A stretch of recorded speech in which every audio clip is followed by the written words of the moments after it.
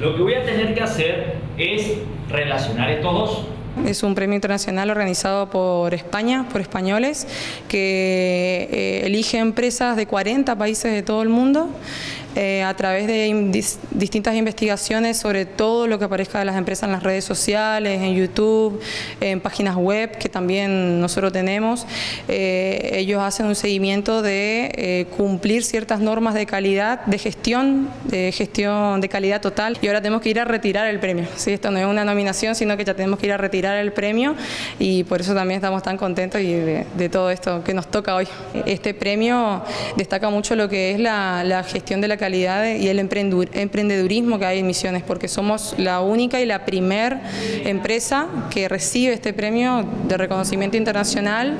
Eh, por lo que estuvimos haciendo el seguimiento, hay dos empresas en Buenos Aires y en otra provincia de la Argentina que también lo recibió, pero eh, eso era lo que también queríamos destacar, que, el reconocimiento es muy importante ya que representa a toda la provincia, a todos los misioneros y a, y a ese esfuerzo que nosotros hacemos también para llevar, ¿no cierto?, la buena gestión.